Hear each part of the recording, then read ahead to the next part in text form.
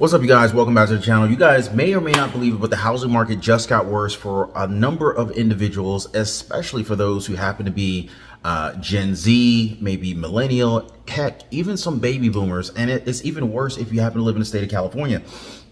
And I'm going to get into that later in this video. But you guys will not believe what these California Democrats have voted against recently.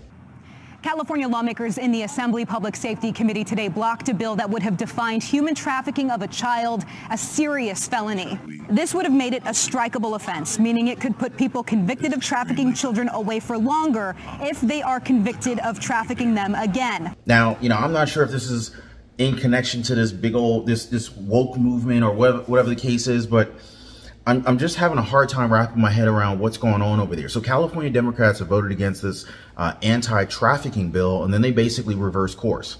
State Senator Shannon Grove, who authored the bill, told us she was blindsided by today's vote. You can um, pass a note to a bank um, and rob a bank. You can commit arson, and that's considered a serious felony. But to traffic a minor child in the state of California is not. That's something wrong. I mean, I'm talking 0 to 17 where the average age is 10. And they would not pass this bill. Now, there is so much wild stuff going over in California between Hollywood and, uh, you know, uh, this whole uh, sound of, what is it, Sound of Freedom movement that came out, this Sound of Freedom movie that came out, which happened to reveal a lot of different uh, underground issues going on.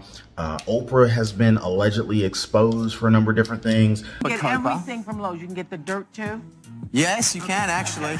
We don't call it dirt in the gardening oh, we world. don't. What we call no, we call it soil. Okay. so, but what, what I realized is through the whole process, because I'm grounded in my own self. I would say, Oprah Winfrey, you know what you need to do and stop hiding behind. Um, Mel Gibson has actually been very controversial lately. But then again, if you think about Mel Gibson, he's been pretty controversial on a lot of things. When I came over here, I was, oh God, I was in my, my uh, mid-20s. Right. The first time I really came over. You know, I had a whole bunch of weird paranoid suspicions. I believe that they gave me a raw deal because this industry is a monster. It's the same monster that these Me Too was trying to tell you about. But about what the hell was going on because there was a lot of stuff I couldn't understand. First time I really came over here. You know, I had a whole bunch of weird paranoid suspicions about what the hell was going on because there was a lot of stuff I couldn't understand. You're seven years old and someone is stroking you. It feels good. Our future is our children. Now, the first step in eradicating this crime is awareness. But there's so much wild stuff going on over in California right now. It's just unbelievable. I mean, look at San Francisco, for example, right? San Francisco is becoming a ghost town, if you ask me. San Francisco has so many freaking stores that are just shutting down right now. And, you know, between the crime and, you know, many people just kind of walking out of Walmart with all sorts of stuff. And I just don't even understand how legislation is, allowing this to happen? Well, I guess, you know, depends on who you voted for in office. Um, but, you know, everyone's waking up to the fact that, you know, California, it used to be this seemingly majestic state, but lately a lot has changed. And it's wild because you got this strike that's happening with the, uh, the, the actors and the writers over in California right now. And, you know, this is at a time when uh, a, a, lot of people are dealing with high, you know, unreasonably high inflation. Um, a recession is actually being predicted to happen later in this year for 2023, but they're kind of pushing it down. They're, they're now saying that it's probably going to start in 2024. But the simple fact of the matter is that uh, this is affecting a lot of people. And I mean, you've got movies like Sound of Freedom that are like sounding the alarms on uh, real things that are happening right now real things that are happening and there's no real promotion for this movie. And, you know, I've talked to a number of different people who feel as strongly as I do about this. Like, there needs to be some exposure here. And granted, you got, um, you got Mel Gibson, you know, kind of putting the word out, and, and that's great. But where is everyone else? Um, and we've even heard from The Rock. Um, which I'm going to say for later in this video, maybe another video. But here's the thing, guys. Oprah Winfrey, she's always been the type of person, in my opinion, that just, you know, she she portrayed this very humble beginning, which I believe to be true. I mean, if it's not true, then I'm being fooled as well. But you know, so it, it's it's really striking to discover or to hear these allegations that she has anything to do with any of the stuff that's that's being alleged uh, in terms of her involvement. So that's a little bit concerning, to be honest with you. And you know, just given her character and her generosity and I will tell you what has brought me the greatest happiness, and so really unexpected. Being able to step into the mother role and be a real mother, friend, companion. Uh, but then again, at the same time, it's like, okay, are some of the billionaires that she's hanging out with influencing her? That I really don't know. I mean, that's a completely different circle. And, um, you know, I, I, have no idea, but I just think it's just kind of wild that, that that's actually happening. But, you know, it, it's also wild that during this strike period where this strike is going on between the actors and the writers over in Hollywood in Hollywood, California, this is a time where a new movie come, having come out, namely Sound of Freedom, you would think that this would be a, a, prime opportunity to really push that movie and all the other movies, since new movies likely won't be coming out, uh, at least at the rate that they once were, because everyone's off. so that's just kind of wild. But what's also wild is how California Democrats are also voting against this anti-child trafficking bill, and then they reverse course. Said here last week one Democrat in the California State Assembly made a rare public apology, uh, not to not over a scandal, but over her position to vote on a vote that had taken place the same week. So, Assembly member Liz Ort- Ortega had joined fellow Democrats just a few days earlier in blocking a, a bill that was aimed at cracking down on this human tra- trafficking situation, and uh, the move justifiably made national headlines and garnered, you know, widespread criticism. But it shouldn't take a national controversy for Democrats to vote the right way on something. So basically, the controversy and the notoriety and the publicity that this thing got, I guess it it appears that that was the catalyst to cause Democrats to reverse course and um, and, and I guess pull back on this uh, vote against this particular bill.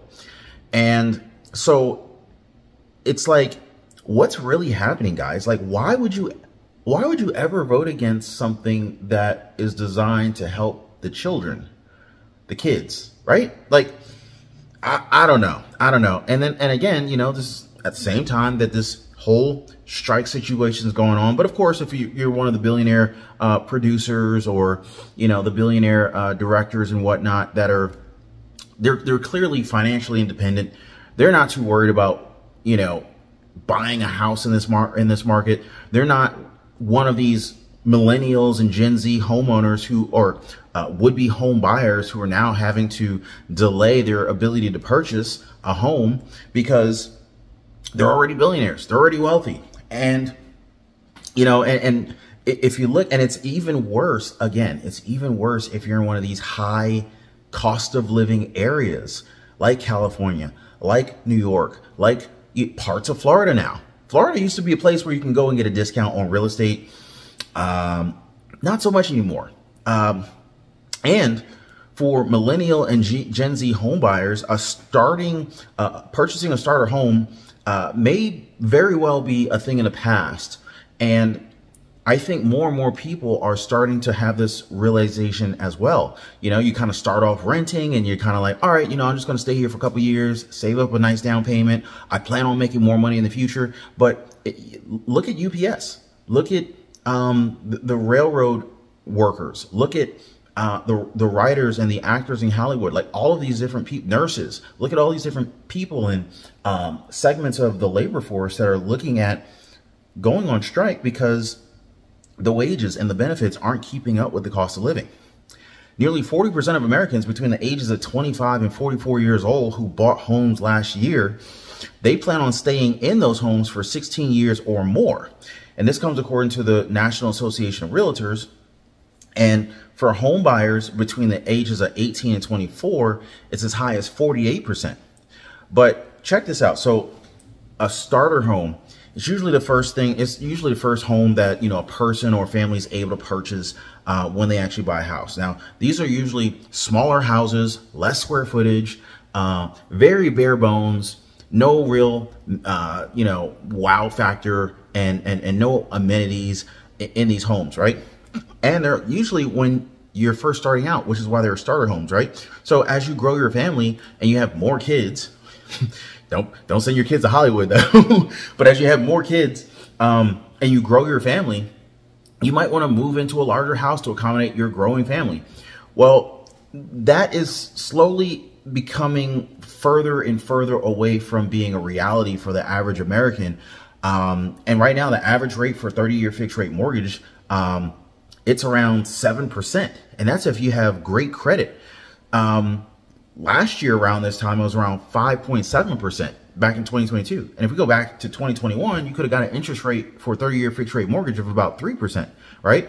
But just two months ago in May, the typical starter home now, it costs about $179,000 nationwide. Now, thankfully, there are parts of the United States where you can actually buy a starter home for under $200,000 a year. But in most places in the United States, you're not going to find real estate, a single family residence to live in for under $200,000. In fact, you're probably not going to find a house for under 400, maybe even $500,000. But this specifically is a starter home. So this starter home might be super small. It might even be a tiny home for all I know. It could be as small as, you know, a thousand square feet, 1500 square feet, who knows?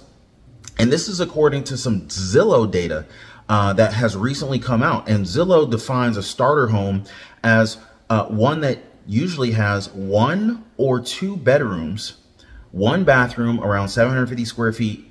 Um, excuse me, one or two bedrooms, one bathroom. It's around 750 to 1200 square feet of space, and it's usually located in a suburb. Now, first of all, you that don't even sound realistic. You guys tell me. Let me know when's the last time you even freaking saw a house for sale, starter home or not, you know, starter home or not, where it had one bedroom. Like, what house has two bedrooms?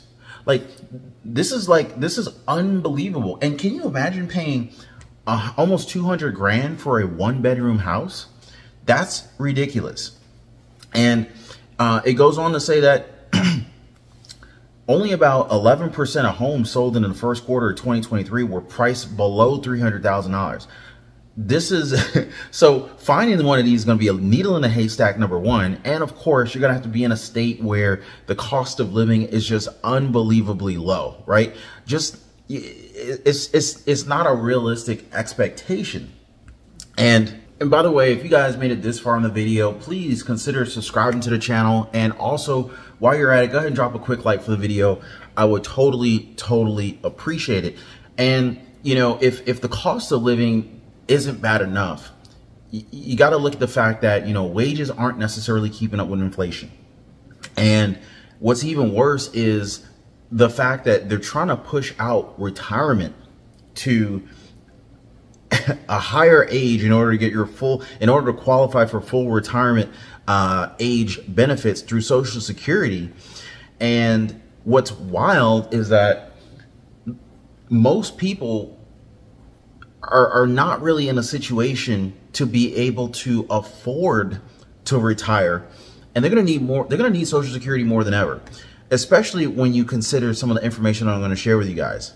So, you know, basically, Gen Zers, right? With 401ks, they actually saw the average account balances grow by about 34% during the first quarter of 2023, uh, excuse me, 2022. And that's great. But they're actually an anomaly, right? Now, think about this right now if you're a baby boomer, if you're over the age of I forget what age baby boomers start and end at, but if you're if you're over 50, you're a baby boomer for the most part, right? The the median the average so the median 401k balance as of 2023 quarter Q1 of 2023, right?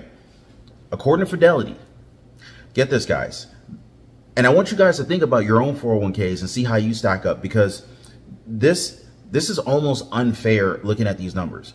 the average baby boomer has a 401k balance of $215,000 in their 401k. Now, I, I want you to let me know is your 401k balance anywhere near this average? Now, if you if you if you consider the fact that averages can be vastly skewed by someone with a huge balance, it can really make the average be higher or significantly lower, uh, depending upon what numbers are being averaged in. So that's the average: two hundred fifteen thousand dollars in the four hundred one k. if you happen to be a baby boomer. Did you know that the median is only sixty one thousand dollars in their four hundred one k as a baby boomer? Now, if, if you think about the difference between the averages and the median the median is a is a more realistic number. So, you know, basically if everyone had like 30K, $30,000 in their 401k um, investment account, but Mark Zuckerberg happened to have like $10 billion in his 401k, even though everyone else has $30,000 in their 401k, Mark Zuckerberg having two, you know, $10 billion in his makes the average significantly higher. So let's just say you had uh, 999 people with $30,000 in their 401k. But Mark Zuckerberg happened to be the 1,000th per person in this group of people. When you do the average, it's going to seem like the average person has around, you know, uh, $500 million in their 401k, when that's really not true. It's that Mark Zuckerberg's uh, $10 billion 401k is raising the average and it's skewing the numbers. But if you have, uh, if you look at the median number, that number is much more accurate because even if you had a thousand people, you know, with 30 $30,000 in their 401k, but you had Mark Zuckerberg with $10 billion, his $10 billion 401k balance won't skew the median number. And so basically, the median number we're going to look at here is $61,000. So realistically, the average or realistically, a typical baby boomer has around $61,000 in their 401k. Gen X people, uh, they have on average $145,000 in their 401k, and we already know the situation with that, right? But the median Gen X 401k balance is sitting at $44,000. And this is across the board. Vanguard, Fidelity, uh, E-Trade, uh, name your favorite investment account uh, brokerage. And these are the numbers, folks. Look at millennials. They're even worse off sitting at $44,900 on average in their 401k, but the median balance in their 401k for millennials is 15,500. And of course, Gen Z, they're the youngest group. They're sitting at $7,100 on average in their 401k with a median 401k balance of $2,500. Now you tell me with the direction that we're headed with higher taxes, higher income taxes, higher property taxes, HOA fees going up, and the government, the Fed, looking to push out Social Security full retirement age to freaking what? Uh, I want to say it's like they're trying to push it out to like 68 or close to 70 years old. This is unreal. So fewer jobs are available. Strikes are happening left and right, whether you're in California, uh, it really doesn't matter because some of these companies that are uh, pushing for these strikes, they're driven by the unions. And if you, you know, it, it really doesn't matter what state you're in, incomes are down, prices across the board are up, regardless of where you shop for groceries, Walmart, Costco, uh, Aldi, Kroger, doesn't matter. All of these prices and expenses are up. Real estate prices are higher. The cost of real estate is higher. The cost to rent is higher. All of these insurance is more expensive. There's got to be some significant changes made here. Simple fact. Sim simple fact of the matter is that changes have to be made. Now, I, I want you guys to take a look at this. I want to show you something real quick. I want you to think about how you personally stack up here, right? So if you, and we're talking about the average 401k balance by age, right? So if you're think about your own situation. If you're between 35 to 44 it's saying here that the average 401k balance is $97000 right? The median 401k balance is $36000 think about your own situation. Are you anywhere near these numbers? Are, are, are you ahead? Are you behind? Um, if you happen to be between ages 45 and uh, 54 years old, the median, the average uh, 401k balance is $179,000, and the median 401k balance is $61,530. Where you at, guys? Like, do these numbers sound reasonable to you? Are you on track to be able to retire on time? Like, this is real stuff. Look, 55 to 64 years old, average 401k balance is $256,000, but the median 401k balance is $89,000. Right? And then if we, if we go a step further, if you're 65 and older, the average 401k balance is $279,997. That's the average. But the median 401k balance is $87,000. This is the reality, folks. This is the reality. Like, you know, um, we can't we can't hide the numbers. We can't hide the numbers. You know, we can't suppress people like many of these different platforms do. Um, this is the reality.